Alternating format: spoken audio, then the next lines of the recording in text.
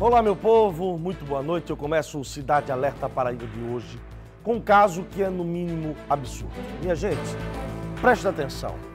Um homem foi conduzido pela Polícia Militar para a delegacia. Após a mãe de uma menina de 6 anos denunciar que este homem cometeu o crime de estupro de vulnerável. Vou fazer o seguinte, deixa eu chamar João Tiago, que está ao vivo, e vai trazer todos os detalhes para a gente tentar entender esse caso. Na tela, João Tiago comigo, ao vivo, para toda Paraíba, falando desse caso agora no Cidade Alerta. Vai, João. Boa noite, meu irmão. Muito boa noite, Paulo. Boa noite a todos que nos acompanham. Um caso realmente assustador. Aconteceu lá no bairro do João Paulo II. Esse homem era vizinho da criança vizinho da criança de apenas 6 anos de idade. De acordo com o relato dessa criança, de acordo com o relato da mãe dela, esse homem teria visto essa menina de apenas 6 anos brincando com um coleguinha na frente de casa. E então teria puxado essa menina para dentro da casa dele, enrolado o rosto dela com um pano e feito coisas que aí a gente não vai entrar em detalhes aqui porque são realmente muito sujas. Ela correu, conseguiu fugir, foi para a mãe e então a polícia foi chamada. Esse homem foi trazido aqui para a delegacia da repressão aos crimes contra infância e juventude. Aqui ele deu depoimento e a gente vai continuar contando esse caso. Primeiro eu quero falar, eu quero chamar a sonora do policial militar, do sargento que foi responsável por essa, é, por ter ido até o local ele conta pra gente alguns detalhes sobre esse caso. Vejam aí.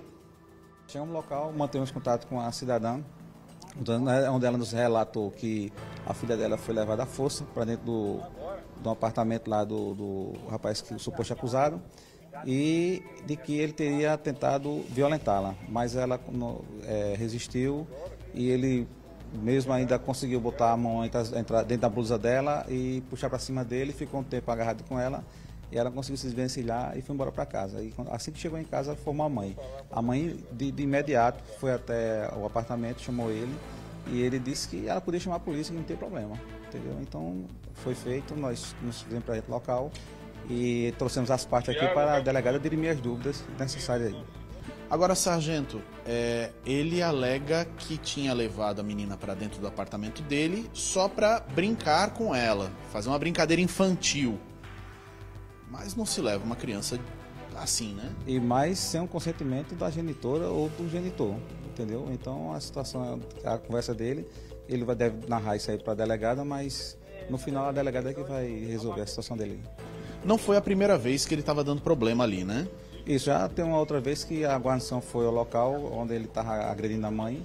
E também tem relatos de vizinhos que ele também tentou agarrar uma outra pessoa lá. Ele agrediu a própria mãe, é isso? Isso, tem a, a guarnição que nos deu apoio, já tinha uma ocorrência lá, onde ele teria agredido a mãe e, como eu falei anteriormente, há um relato de vizinhos que ele tentou agarrar uma mulher à força no meio da rua em outro dia. Vocês viram aí o lado da polícia explicando todo o caso.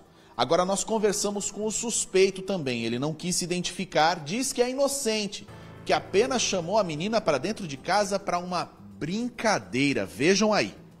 Ela disse que eu a conduzi até a minha residência e abusei dela sexualmente. Só que isso tudo não passa de um engano, porque eu não, jamais seria capaz de fazer isso. O que, que o que, que aconteceu, na verdade, então?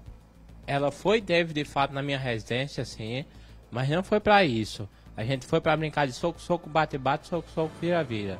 Como eu disse, é o vizinho e tem as câmeras mostrando.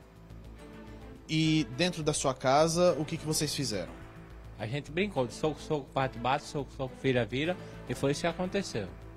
Outras pessoas estão dizendo que você tentou estuprar uma outra mulher lá na comunidade também, é verdade isso? Não, não procede. Eu sou novo no bairro, fazem apenas um ano que eu moro, que eu resido lá, e isso não procede. Esses vizinhos, eles já tiveram algum problema com você antes? Não, nunca tiveram problema nenhum comigo. Não, fica comigo aqui para ver se eu, se eu tô entendendo, meu irmão. Quer dizer que um marmanjo preso, acusado, né, suspeito de estuprar uma criança de 6 anos, ele contou para você que levou a criança para dentro da casa dele para brincar de soco, ba soco, soco, bate, bate, soco, soco, vira. Foi, é isso mesmo que eu vi, meu filho? É? Meu Deus do céu. Agora, tem uma outra É coisa. isso mesmo, Paulo. Pronto. Aí tem uma Exatamente. outra coisa que eu quero que você fique aí pra gente ver junto. Quando nós estávamos editando esse material, tá? O negócio parece que o homem já foi preso, já tem passagem pela polícia. Que história é essa? Bora ver. Agora, você já tem passagem pela polícia? Já respondeu algum crime? Já sim, porque eu tenho esquizofrenia, sou portador de esquizofrenia.